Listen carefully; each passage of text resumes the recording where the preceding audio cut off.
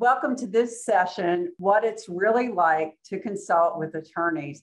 I'd like to introduce you to four certified legal nurse consultants, Susanna Raj, Dale Barnes, Doreen Goldstein, and Michelle Neal. And I want to just get straight, uh, straight on with this topic of this session. What is it really like to consult with attorneys? So Suzanne, I'll start with you. What is it really like? It's really fun. I, I really enjoy. It's just like talking uh, in at a intelligent conversation when you're speaking with an educator uh, or you're speaking with a physician who can just as easily educate you. Um, I find it to be very interesting. I find that you really have to be focused and on your toes, but that's not necessarily new to us nurses. It's just the venue is new and the venue is whether on the phone or in an office uh, versus at a patient's bedside uh, you still it's very engaging and, and very exciting. I learn something new every single day. So one of the things you're suggesting that i'm hearing is that it's a real collaborative process. Absolutely. And it's definitely one of the things i love about attorneys. You know it's always interesting to me because they really do listen to what you as the consultant have to say. They're attentive. They don't just listen, they actually do something with your opinion, which I know a lot of nurses, it's one of their biggest frustration in nursing. People gratuitously ask your opinion, but they do nothing with it, right? Right. How about you, Doreen? Yeah, I mean, to mimic Suzanne, it is like new every day. You know, each attorney, what I like is like most people, everyone's so different they all have their own needs and desires and what works for them. And you know they understand that as nurses we don't know everything too. So it's a collaboration and uh, they like to hear our experiences. Dale what's it like for you? I also think that it's a lot of fun. And what i find is attorneys are very different than doctors because attorneys will say to you, Thank you so much. I could not have done this case without you. And I will use your help again. I'm going to refer you to my colleagues. And when on earth does a doctor ever say that to you? It doesn't happen. So it really is ego boosting in a lot of ways. And, you know, I always let the attorneys know that as much as I can help them, I don't know the legal aspects. I'm not an attorney. On the same note, though, they don't know the medical and nursing issues that I might be able to find for them. Michelle, what's it like for you? I agree with everyone. I mean, I personally love it. I think they're fun to work with most of the time. Um, like Doreen said, they're all different. So you get to, used to different people's personalities and you kind of learn to adjust based on each different attorney. Um, and you, like like Dale said, you get great feedback. Otherwise, you're not going to have a relationship with an attorney. So if you know they want your knowledge and expertise more so than working with doctors. However, I will say when you begin, I do compare it similar to the way that when you start your first time in the hospital and you're working with an, a doctor that might be intimidating at first you may feel that when you start as a consultant but then it it changes really quickly once a relationship of trust is built. Attorneys come in all shapes and sizes similar to mds and you kind of uh, talked about mds briefly dale. And in general how would you say consulting with attorneys is different than working with MDs? Well, it depends on the MD, just like it depends on the attorney, because everyone does have their own personality. But as far as the doctors go, I mean, I remember the days when you'd see a doctor coming and you'd stand up from the nurse's station, give them your seat, and go get the chart for them. Well, we don't do that so much anymore, but I think we don't get as frequent or often good information and feedback from the physicians, but we do from the attorneys. And I think that the attorneys look at us as knowing something that they don't. The doctors don't look at us that way. They usually think they know more. and it's kind of interesting that you mentioned that because just by virtue of how the relationship is formed, probably influences that. When attorneys hire you, they're actually hiring you as a consultant. They're hiring you for your experience, for your knowledge. The MDs, you're just there, so to speak, for them. And they certainly can use you to the capacity that you know you're capable of being involved. But I think you're just kind of part of the scene in healthcare, whereas attorneys are actually reaching out to you and seeking you out. How about you, Suzanne? What's what's different for you? I think you've addressed it. I, I, it, it's that they want they they're thirsty for your information. They do not know what it's like to work in the inner workings of the healthcare system. They only know from the attorneys from the litigation side what their perceptions are what they what they've sued people for what they've defended you know providers for. Uh, so i think they're very interested in what we have to to to say uh, what our insight is and the foundation for that insight. Uh, whereas physicians think for the most part that they are the master of their craft and they don't need the insight from the nurse. Um, I, I don't I want to be careful about saying that because obviously, depending upon the work setting between the and the relationship between the nurse and the physician, it's going to vary. Or a first assistant and a surgeon, obviously, with all due respect. But I think that attorneys are thirsty for that information. They have no idea what really the depth of our training and our experience um, and what we have encountered on our on our day-to-day uh, clinical experience. Thank you. Doreen, you want to add anything? Sure, yes, always. Uh, you know, to quote one of the attorneys that I work with very closely, uh, not too long after working with him, he said, I need you for your brains. You know, they need information from us that's not in that textbook what really happens during the code, what really happens in precipitous deliveries, you know, all that information that we have all lived and become secondhand to us. They just, they don't understand that. So yes, it's different from physicians, uh, unless they're, you know, eager medical students who will listen to you. And, you know, like Suzanne says, there are some that certainly will listen to the nurses, but for the most part, the attorneys are really looking for what happened. You know, tell me what really happens in the hospitals. Michelle?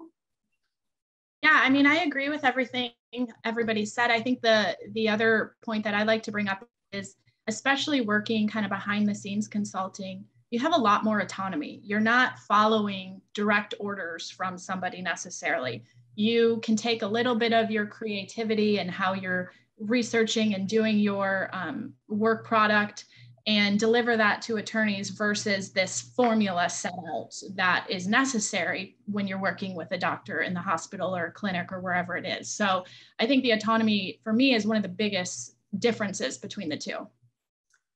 Another difference I've noticed is just by training, RNs are basically taught to take orders from MDs. Certainly, RNs will challenge an MD's order. But when that happens, that nurse is stepping out and really going out on a limb there potentially. And we've all seen some nurses who get rewarded for that on behalf of their patient, and some nurses who get their hands slapped or actually punished pr- pretty severely.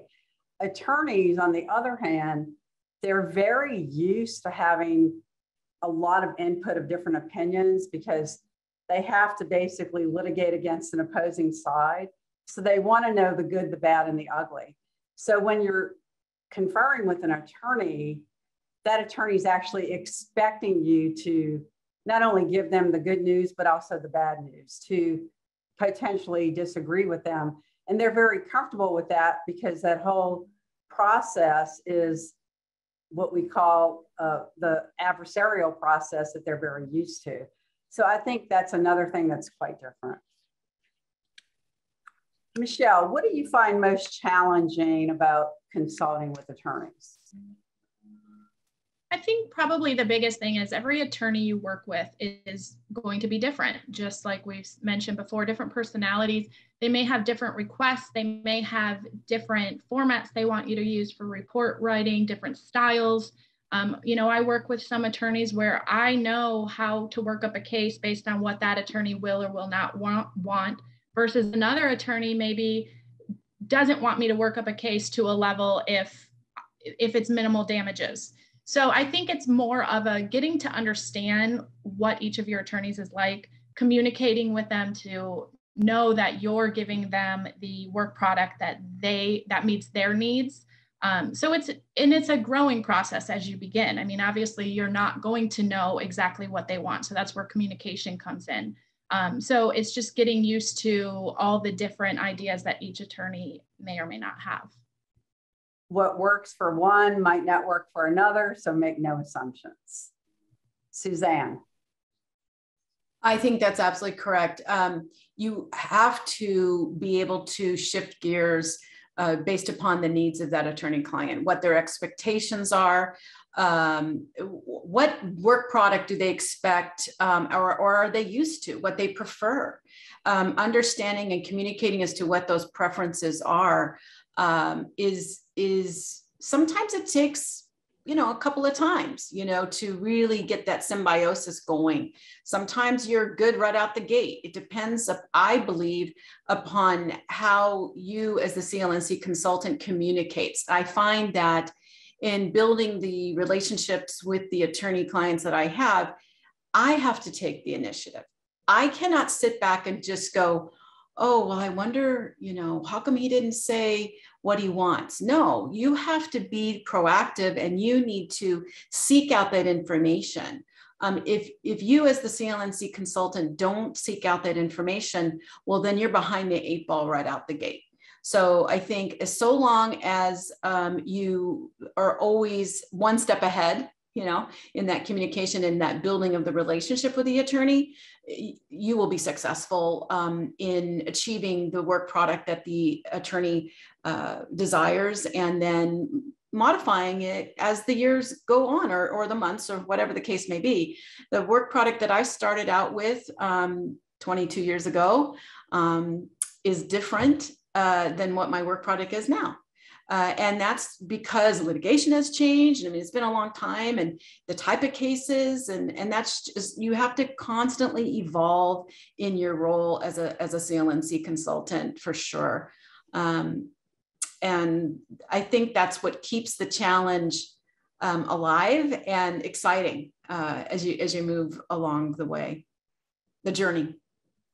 I'm glad you said that you have to often make recommendations and tell them the direction that you should be going or even guiding them in a direction because that's what a consultant does, right? A consultant advises. And in fact, that's a question that I've got uh, many times over the years from RNs interested in legal nurse consulting. And the question is, well, won't an attorney tell me what to do? No, consultants already know what they're supposed to do you're going in as an advisor and that's your job. So absolutely. And that's that's a huge distinction isn't it that you take a leadership role from your perspective as a consultant? Dale how about you? Well i've had mentoring calls where the clnc says to me well how am i going to know what kind of report to write? Mm-hmm. And again, the same thing that Suzanne said, I tell them how important communication is.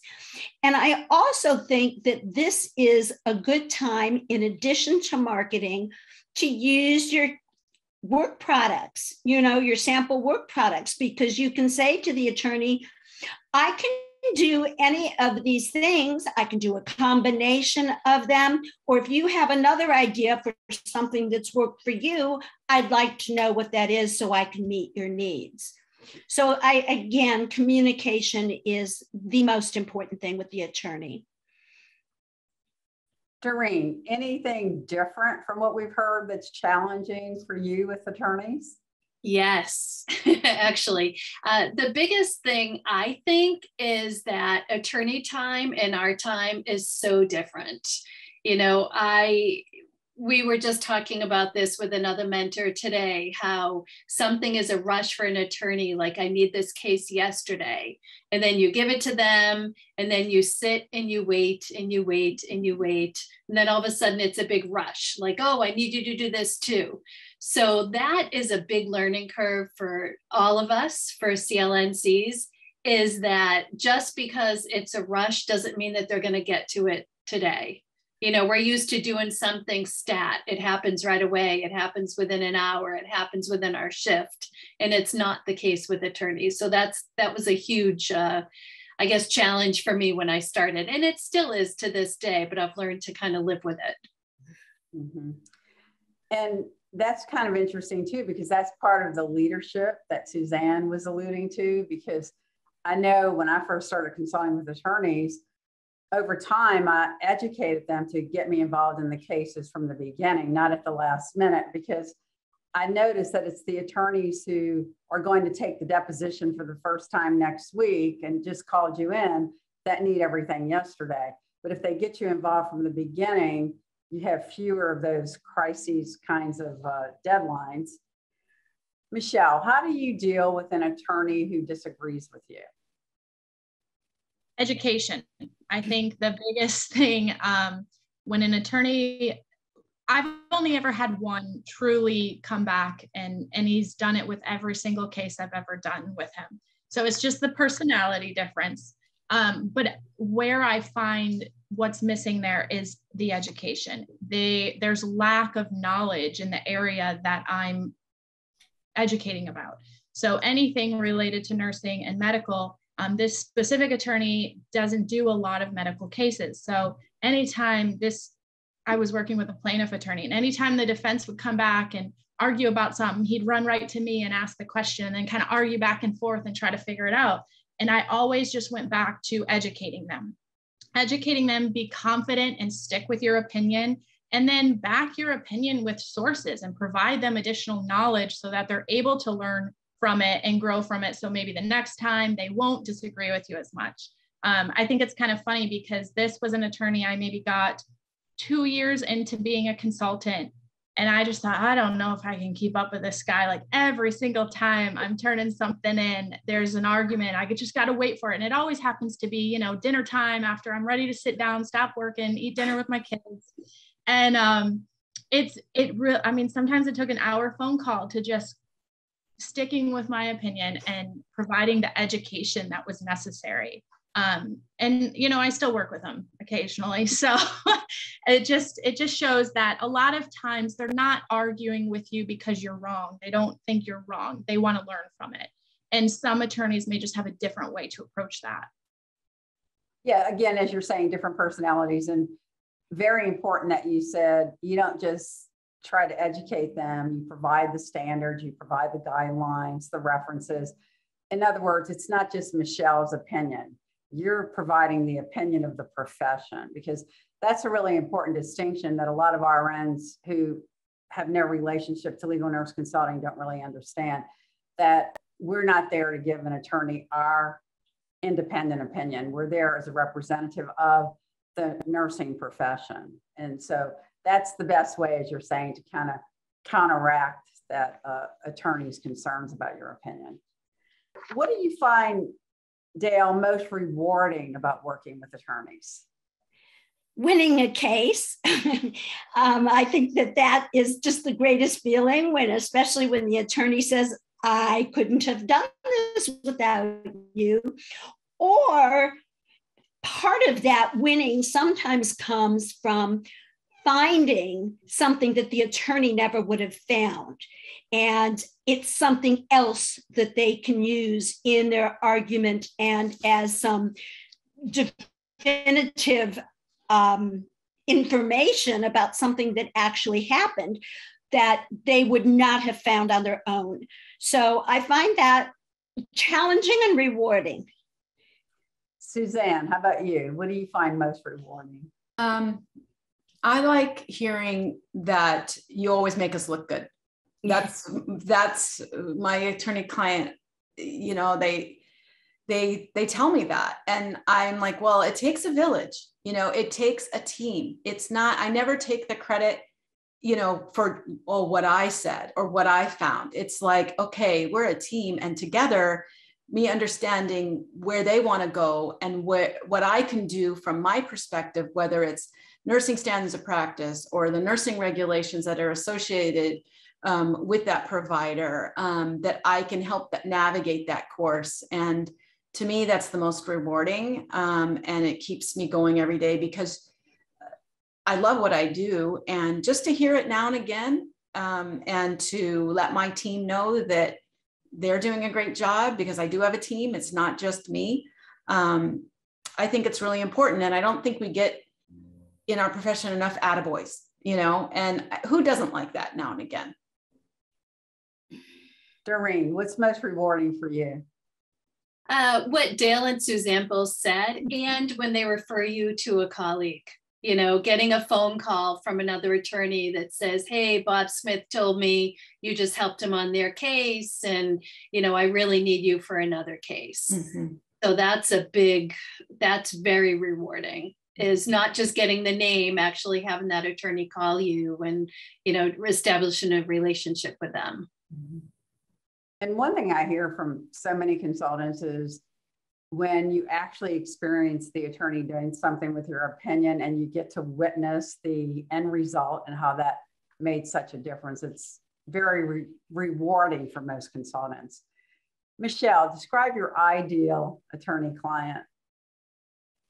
Oh goodness, I I mean, first and foremost, I like people who communicate well back and forth. And I think that's one thing I've had to learn with attorneys that some will not respond necessarily or give as much feedback, even if you're requesting it. Um, but they keep using you. So you know that that's a good sign. Um, so I personally love people who can communicate well, who are willing to teach me more on the legal side as well, because sometimes I think just if they give a little bit of the legalities in it, then it helps me to know what to look for or add to maybe one of my work products. And I've learned a lot um, from attorneys that way. So I find it very rewarding as well when I'm able to be educated by them.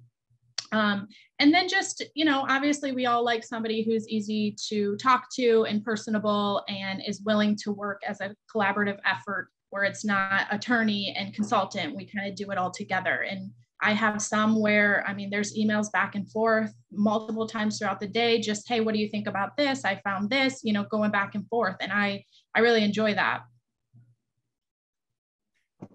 Dale, what is your ideal client? Well, I definitely agree with um, a whole bunch of that, with most of it. I, I think that the collaboration with an attorney who's willing to collaborate, willing to communicate, um, wants your opinion, may question it, but is willing to listen to you and to your reasoning. And there are certainly situations, uh, you know, I had a case where I found there was absolutely no merit.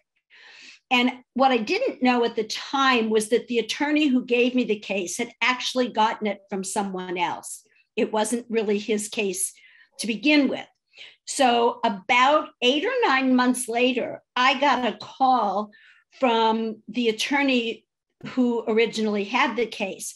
And he said, I know what your opinion is, but I really, really feel sorry for this family. Would you please look at this again? And I told him no. I said, you know, I I here's how I researched it. This is the information I came up with. And I said, frankly, you'd be wasting your money to have me go through the same thing again and come up with the same answer. I said, if you would like my resources, I'm happy to give them to you. And he was open to that. So even when they don't agree with you, if they're open and they're willing to communicate, that is so important. Suzanne, your ideal attorney. Um, I think that um, through that collaboration, whether the case resolves um, favorably for your client or not, the mutual respect that occurs in that process and through the building of the relationship is the ideal client for me. Um, because at the end of the day, you having that mutual respect doesn't really matter if the case was won or lost, so to speak, using those words very loosely. You know, most cases settle. So what does that really mean? It doesn't mean you win or you lose, you settle. Okay, you know. Um, but for me, that's ideal because I've had several clients, whether I'm in the consultant role or in a testifying expert role, they still call me, whether or not um, my review was favorable for them or not. But more often than not, because my review was objective, I tell it like it is, I tell them where the problems are, they were still able to navigate that case to resolve at a reasonable price, if you will, um, on behalf of the clients they represent, if it's on the defense, but similarly on the plaintiff. So I think that mutual respect is your attorney client's going to come back to you regardless, one way or the other. Thank you. One of my or my favorite type of attorney is the one who actually likes to collaborate in an active way. Sometimes I'll hear a CLNC consultant tell me that they just send their reports electronically. There's no real conversation between them and the attorney. And I always say, you know, the attorneys on his or her end looking at the case, they've got their perspective. As a CLNC consultant, we've got our perspective. But for me, it's only when you come together that one plus one equals three, and you really start to have a conversation and an exchange and I think get to the best of what the case has to offer. And unfortunately, not all attorneys do that, but that is definitely my ideal attorney client, the one who really believes in the conversation.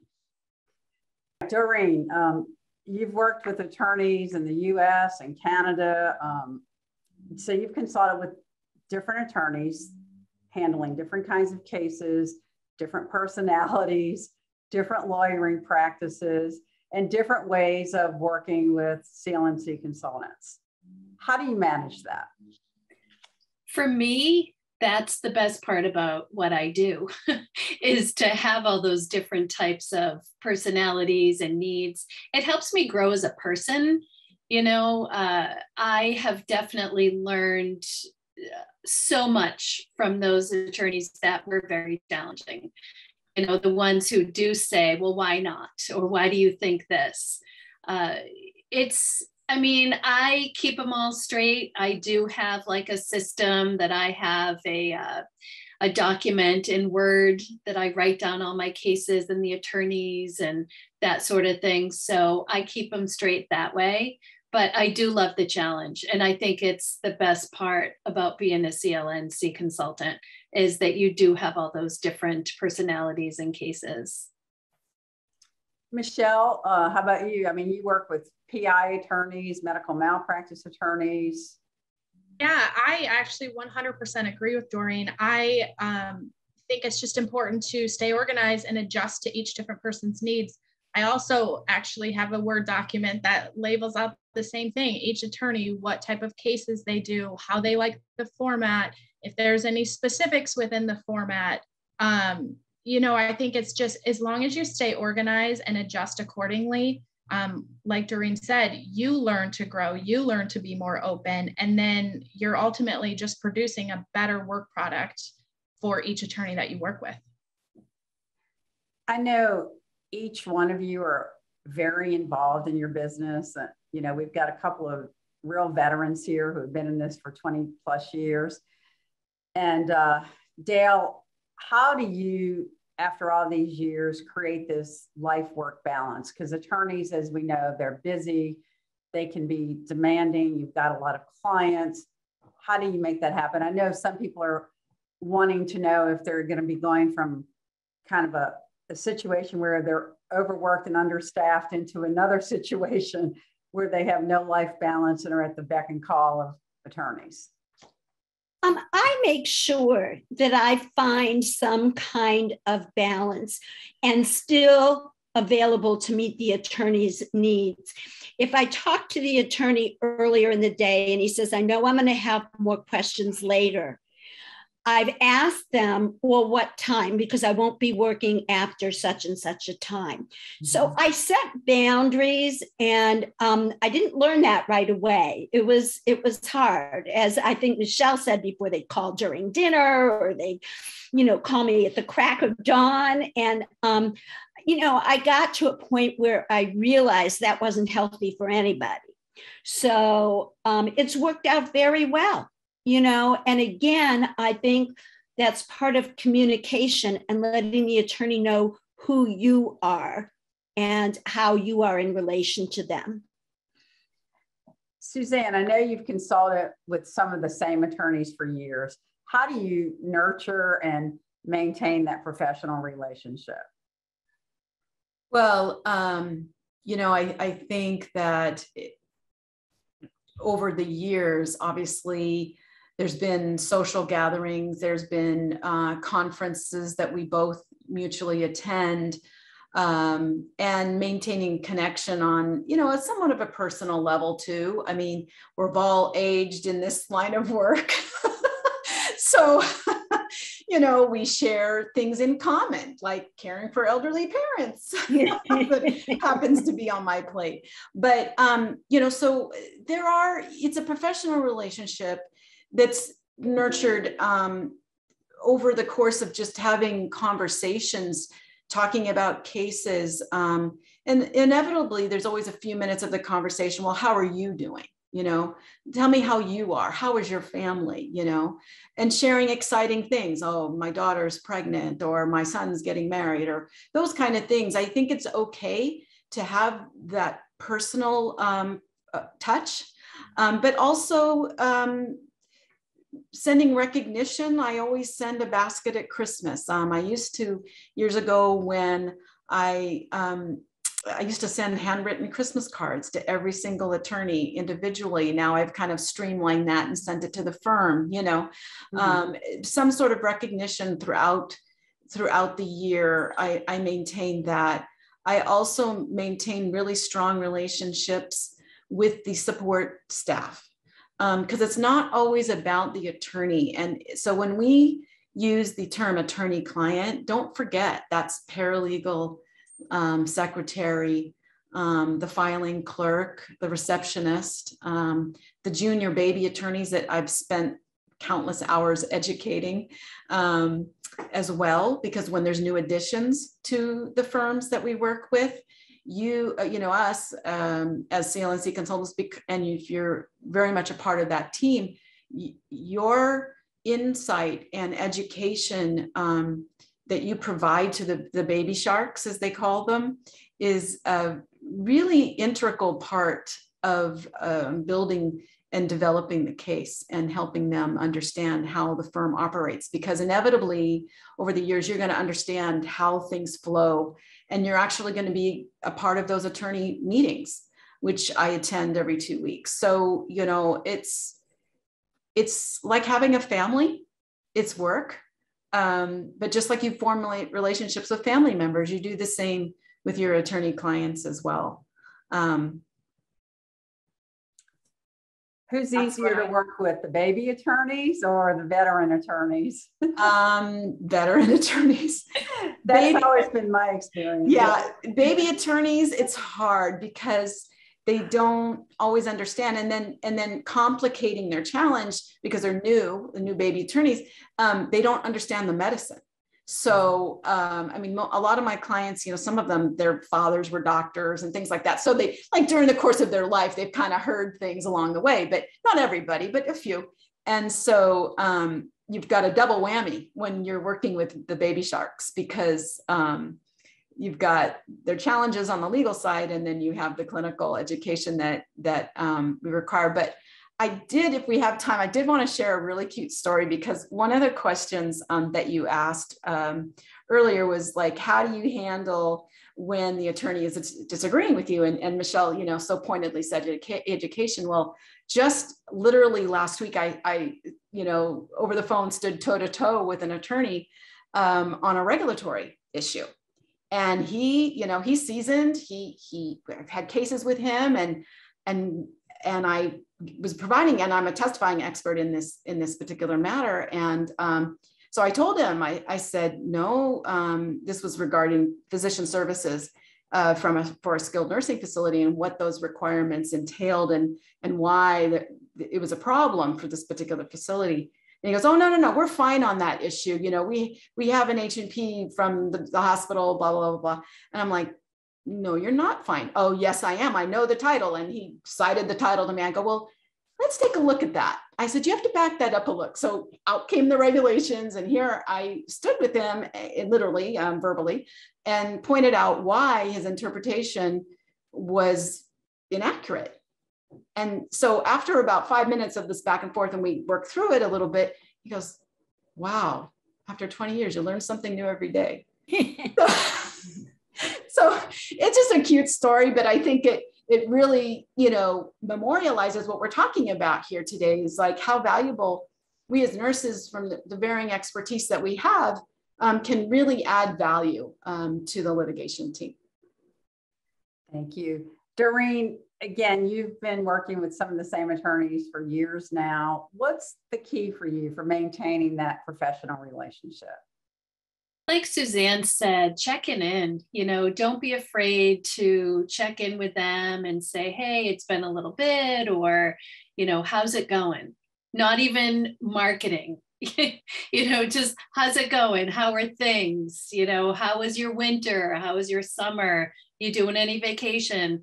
And then you incorporate what you can do for them in the conversation, but just be yourself and, you know be real and check in and just uh, know that they have families just like all of us. Mm-hmm. and i'll never forget when i first started out i was talking with an attorney uh, giving him my verbal opinion in my office like totally quiet. Everything was really quiet. I had my notes in front of me and he was in the car driving his boys to soccer and he says hold on a second and he turns around i can hear him you know Shh, boys quiet and i thought you know what? They're just people like us.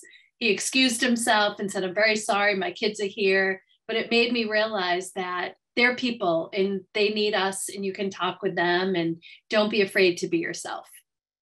And in line with that, also recognizing that this relationship is about them, not about us, right? Like I always say, the most successful consultants, they focus on their attorneys. It's about the attorney, what the attorney needs.